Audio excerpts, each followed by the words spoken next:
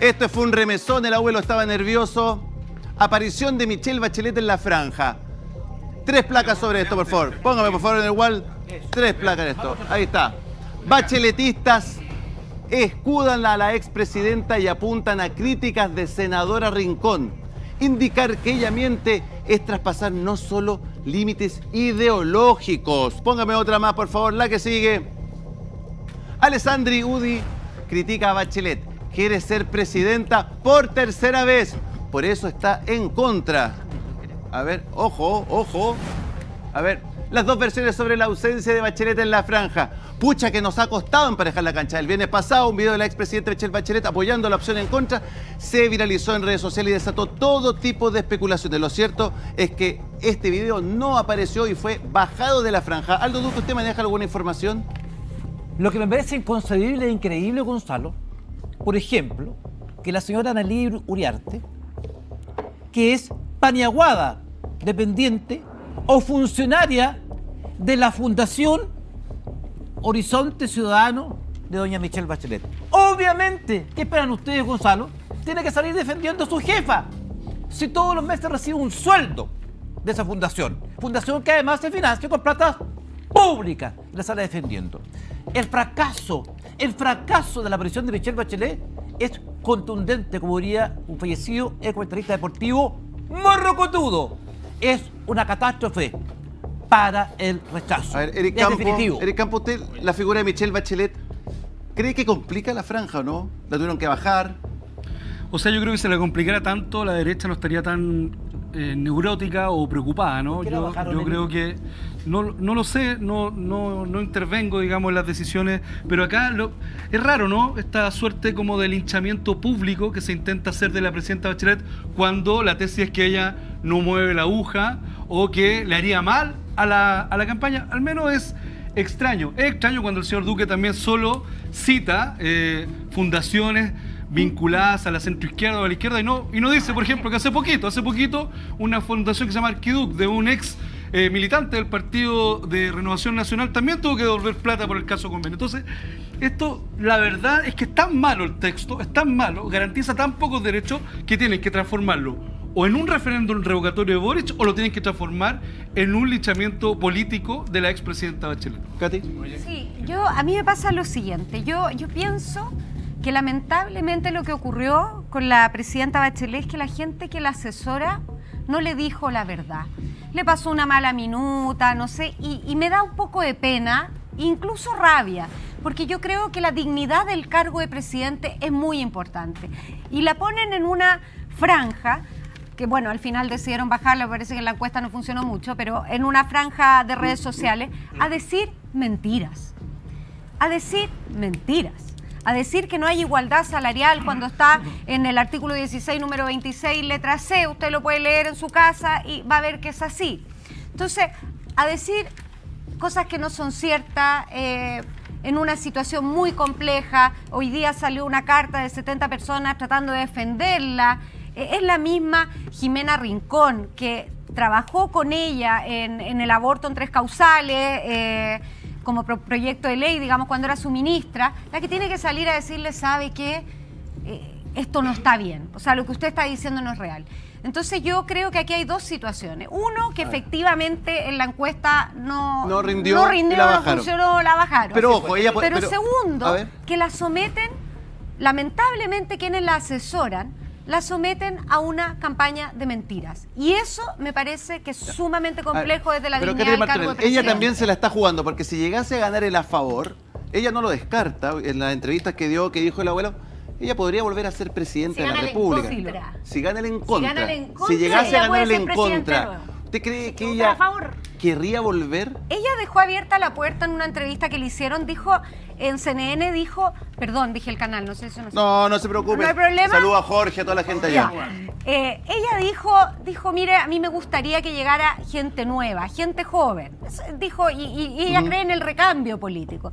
Pero no cerró la puerta precisamente porque hoy día lamentablemente en el oficialismo no aparecen candidatos presidenciales. Entonces, por supuesto, tiene que dejar la puerta más o menos abierta a poder ser candidata. Lo importante, señora y señor, que si usted vota a favor de esta constitución, ella no puede volver a ser presidenta porque cada presidente puede ser máximo dos veces en su vida. Catherine, Ay, tienes, a ver. tienes un pequeño problemita con eso. Yo estoy de acuerdo contigo. ¿Tiene ¿eh? un qué? ¿Un pequeño qué? un pequeño problemita con eso que está eh, sosteniendo, porque en realidad no es solo Michelle Bachelet la que está en carrera.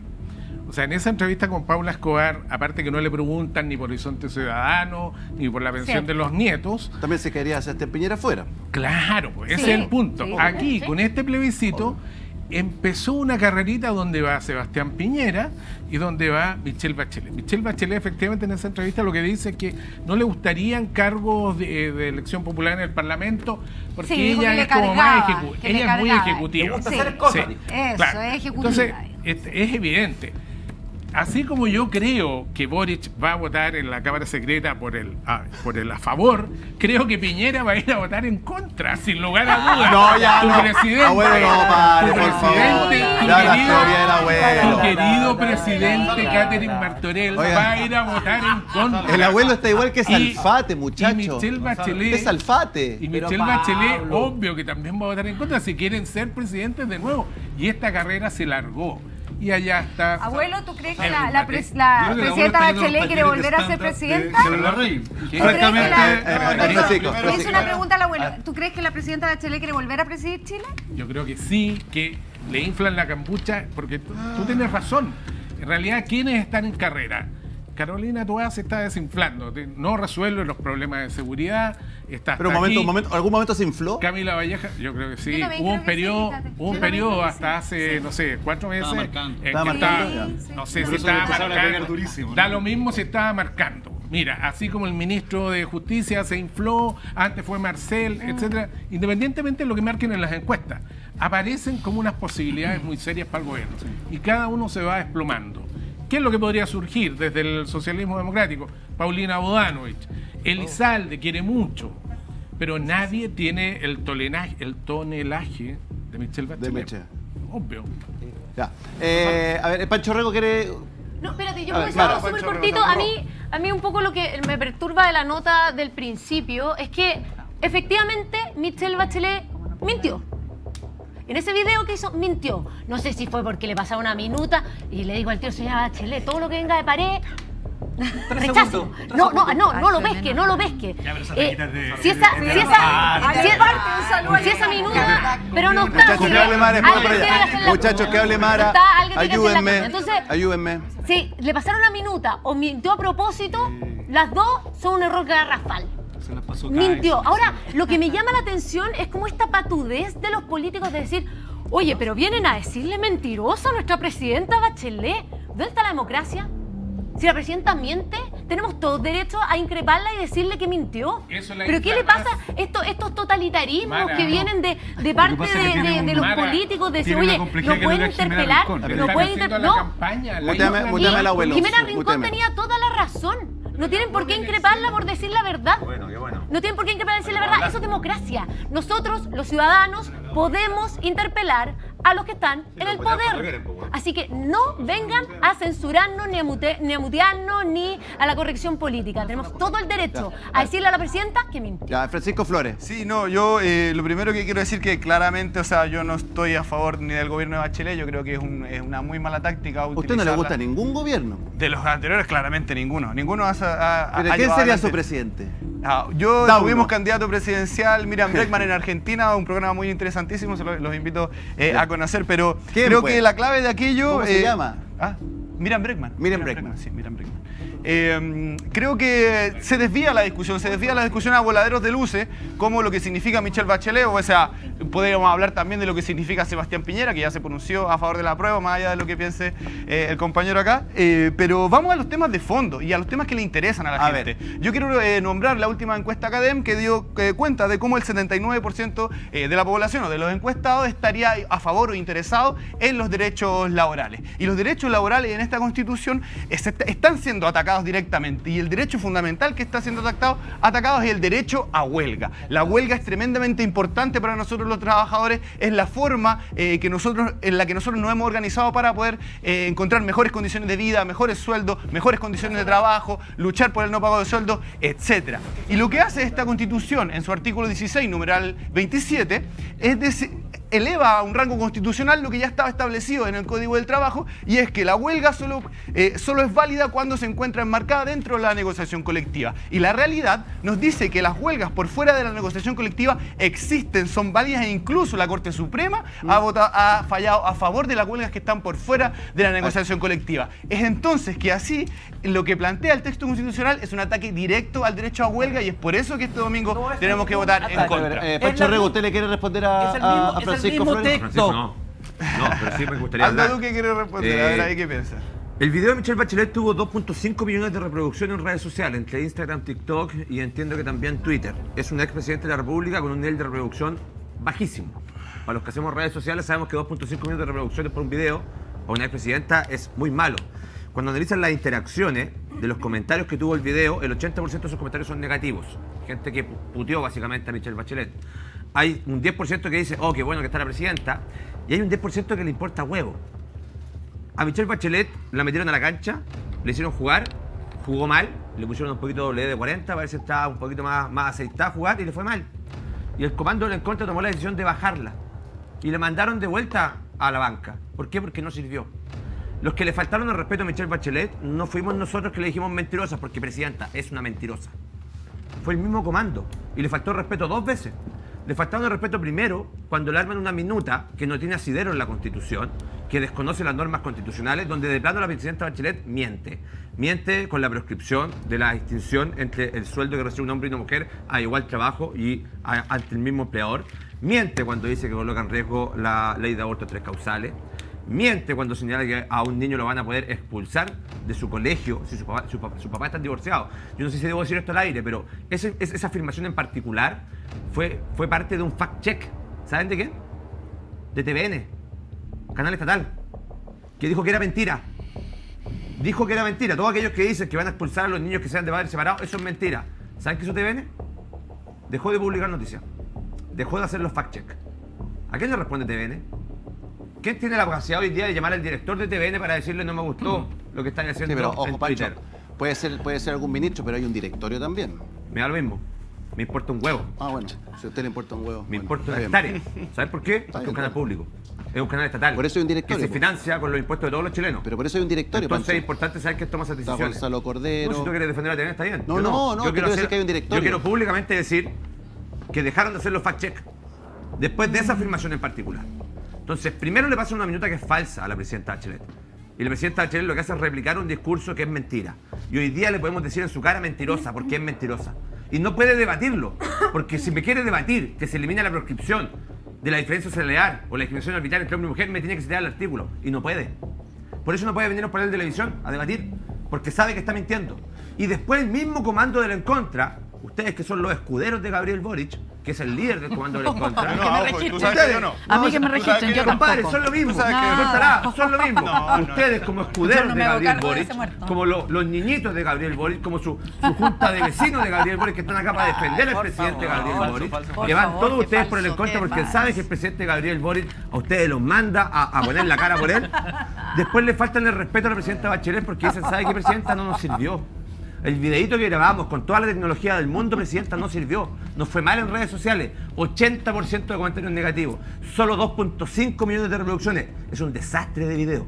A ver. Un desastre. Eh, Entonces, la ¿ustedes baja creen- de a ver, les quiero preguntar acá, de- ¿ustedes creen que el factor Michelle Bachelet apareciendo en esta franja y que después la bajan puede ser un factor que ya me lo dijo el abuelo, que él cree que efectivamente mueve la aguja hacia la favor que genera mucho anticuerpo? A ver, Eric, Francisco, ¿ustedes creo creen que que fue un error? Pero claramente, o sea, te hago la pregunta. ¿Qué, qué pensarían los de la favor si metieran a Piñera en su franja? No, les gustaría claramente. Yo quería. No, lo aceptarían. Bueno, el único, el único en la derecha que, Los líderes de la que derecha todavía que fiel a estar Piñera. Pero ni siquiera favor constitución. pero ni siquiera la que fue parte de su gobierno, se atrevería a ponerlo en la franja porque sabe que es muy en contra. a ver, que- que- que Ah, termine de que. Francisco, que Ah, Ay, bueno, pero ¿te gustaría Que termine, Ah, que de hablar. Francisco, Está por bien, está bien, favor. respóndelo, Ya. está bien. ¿Va a seguir? Sí o no, que, que responda, no, que responda. Que responda. ¿Se acuerdan de los sobres amarillos, señores televidentes? Pero baja ¿Se el- acuerdan? Pero baja el texto. ¿Se acuerdan? No, si no, no, no, si no te gusta el texto, pucha, Pablo, que lo lamento. me- me encanta. Damas y caballeros, ¿se acuerdan de los sobres amarillos? Yo fui el único que me querellé por el tema de los sobres amarillos. ¿Cuál era los sobre amarillo? No me acuerdo. Bajo gobierno de la señora Michelle Bachelet entraron 200, más de 250 mil ciudadanos haitianos con un sobre amarillo bajo el brazo que nadie sabe qué Ah, significaba. Principal, la línea aérea, ¿no? Sí, señor, a las 3, el, lo- a las 3 de la mañana, misteriosamente a Chile, se hacían pasar por turistas y el otro día aparecían con un contrato de trabajo misterioso. Me tocó ver los aeropuertos chilenos muchas veces a las 4 o 3 de la mañana llenos de haitianos. Me tocó Bueno, personalmente. eso que yo no lo he olvidado porque me querellé, eso no podría ocurrir con este texto porque lo prohíbe expresamente el artículo 16, número 4 y el 36, que impediría cosas como esa. Eh, transitorio. Por eso, porque no lo he olvidado, porque sé lo que usted hizo, señora Michelle Bachelet Geria, y el otro día en una entrevista dijo, ah, dijo, pero ¿cuál es el problema? Si he conversado con muchos empresarios y les encanta trabajar en el campo con trabajadores haitianos. Por supuesto, ¿ocuparon, el puesto de quién? Los trabajadores chilenos. 250 mil trabajadores o personas que no eran turistas, venían con sobre amarillo Ah, abuelo. y usted lo trajo. Abuelo, abuelo. Oye, mira, quisiera, qui- quisiera retomar el tema de la, de la seguridad. No sé si, si puedo decir algo Puede, puede, brevísimo puede. No, abuelo, puede. por Sobre el tema no, de no, no me seguridad. un- no me tire otro bidón adentro. por. No, sobre el tema de seguridad. Decíamos hace un rato atrás que era gravísima la situación, los crímenes, los secuestros, etcétera. Esta Nar- sensación para algunos. claro, narcotráfico. Básicamente narcotráfico. Sí, carteles. Yo lo que digo es, ¿por qué no empezamos, pongamos la pelota en el piso y partamos desde lo más arriba a resolver el problema del narcotráfico? Tengo una pequeña ideita. A ver. Se me ocurre que si Boric activara el proyecto de ley que obliga a todas las autoridades públicas a hacerse el narcotest, no el de orina, el de pelo, que se lo aplicara, que se lo aplicara él mismo al presidente de la República, a todas las a Pero todas abuelo, las no se ponga pesado, ¿Le voy a abuelo. Pero espera. abuelo? No empiece con eso. Pero lo que quiero decir, yo creo, yo creo que una primera medida, una primera medida básica, si queremos enfrentar el problema del narcotráfico, del consumo problemático, espantoso que está viviendo Chile, creo que deberían partir por la autoridad máxima, examen de pelo. Una vez cada, a- una vez por semestre. Pero se lo hizo el presidente, ¿Me dejas terminar? ¿Me dejas terminar? ¿Me dejas terminar? ¿Me dejas A ver, pero que termine el abuelo, que, termine el abuelo, por favor. compañero de panel que por favor que Me permita seguir. Ya. calma, Duque, a ver. Todas las autoridades públicas, partiendo presidente de la República, cada seis meses un narcotest, no de orina como el que hizo Boric para la campaña, cuando lo mostró a Cast, sino que de pelo. Pablo, te hago un Porque a mí me parece básico que las autoridades públicas, todas, de- de- de- hasta no sé qué nivel, pero los directores de servicios, etcétera, den cuenta de que no son consumidores que no alimentan al Lo, narcotráfico. lo vamos, lo vamos a hacer, lo vamos a hacer acá en Sin Filtro. No se vayan los camarógrafos, no se vayan muchachos, quédense acá. Es broma, es broma, es. Ya, a ver, a ver, a ver, a ver. Examen de pelo mañana, tú y yo. A ver, ya, a ver, espérense. A ver, eh, Catherine Martorell quiere decir algo. Gonzalo, quiero hacerle un desafío a Pablo. Acá, en dire- en directo. Sí. ¿Vamos haciendo justo un examen de pelo? Sí. Mañana. Mañana. Ya. Coordinamos por interno. Y Eric, y Universidad de Eric- Chile, y Eric porque- Campo, y yo desafío, y yo desafío a Eric Campo. Yo desafío a Eric Campo. Si él me dice que no puede, yo tampoco voy. Ya, eh, Catherine Sí, Martorell. yo es que solamente dos cosas. Ver, Catherine. Porque yo sé que yo sé que estamos terminando el programa, así que me gustaría me decir poco, algo ya. Entonces, una sola cosa es decirle, uno de los motivos por los que rechazaron el proyecto que seguía y perseguía el narcotráfico fue porque incluía la posibilidad de que las autoridades se hicieran, las autoridades del Congreso en esa época, ministros hoy día, test de, de pelo. Ya. Y solo para El cerrar, se lo está haciendo, ¿ah? Ahora Ahora, ahora, pero en esa época rechazaron. Bueno, si ahora se aprobó la ley, ya, pero solo, solo para cerrar, por diez favor. segundos. 10 segundos. Yo solamente me, me gustaría decir que quiero agradecerle profundamente a Mara el apoyo que me ha dado en este momento.